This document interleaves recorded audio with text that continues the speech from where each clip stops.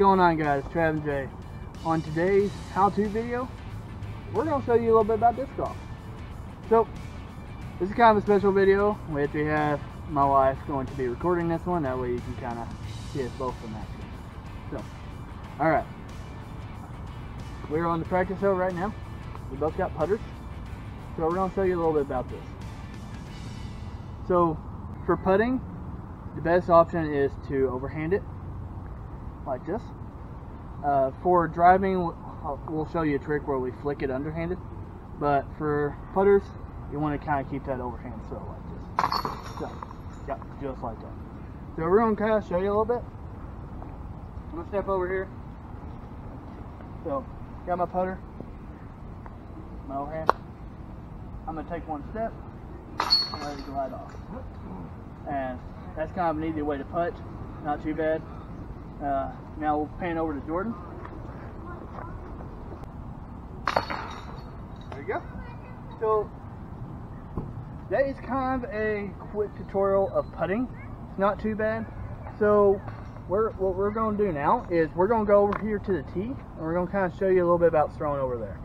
All right, let's go, guys. All right, guys. So we're over here at the tee pad, and what we're going to do now is kind of show you a little bit about throwing the driver. So, all right, guys. So this is my disc I use normally. There's several ways to do this. Of course, there is overhand throw, so kind of gripping it like with three fingers on underneath, one finger around the rim, and then the thumb. Come pull back, take a step, and let it glide.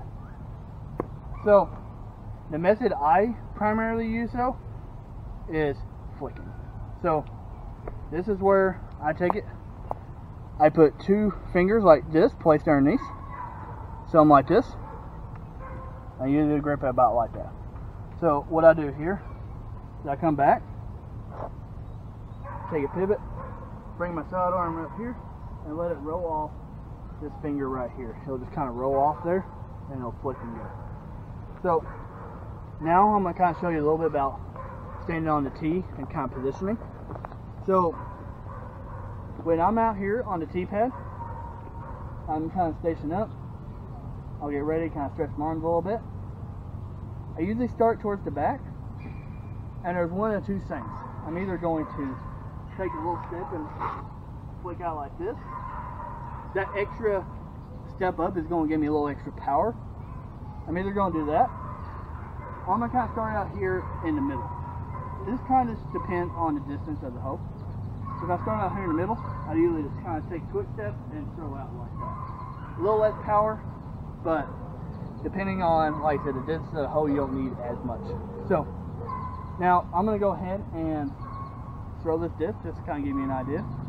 But, all right. I'm going to go ahead and flick it.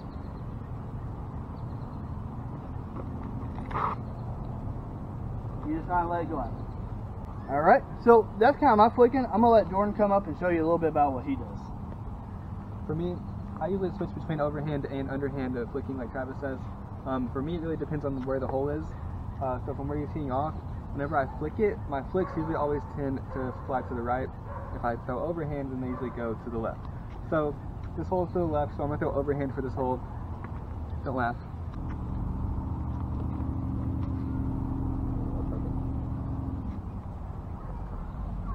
was a good throw. Look at there.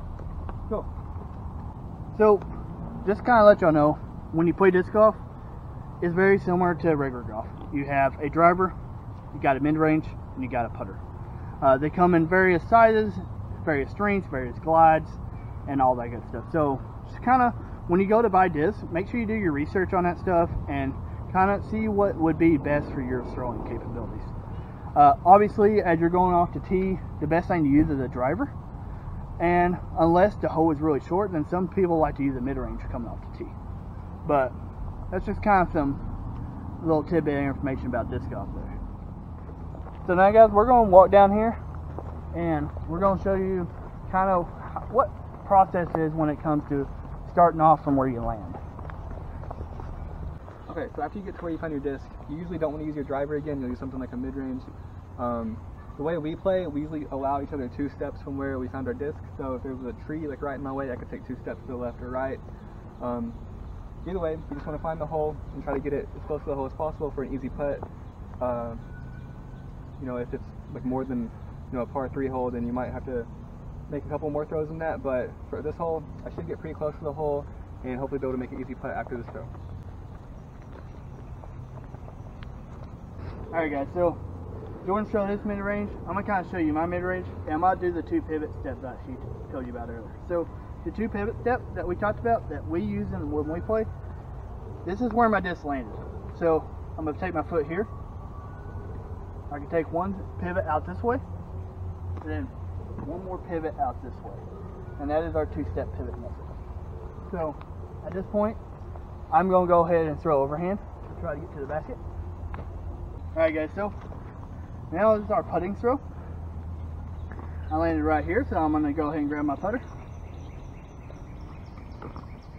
To tip up.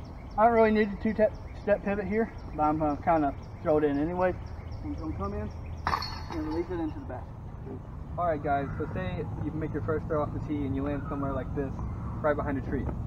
So, and also we're in the middle of the woods and there's a ton of trees between me and the hole the chances of me making a normal throw out of here and getting close to the hole are not good.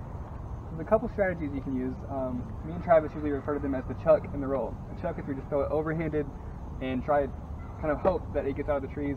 Another way you can do is roll it if you want to roll it under the trees, the branches, things like that. So I'm going to give you guys an example of what we call the chuck. Um, I'm going to take my mid-range here and just honestly, you throw it in a line where you see as little trees as possible and hope for the best.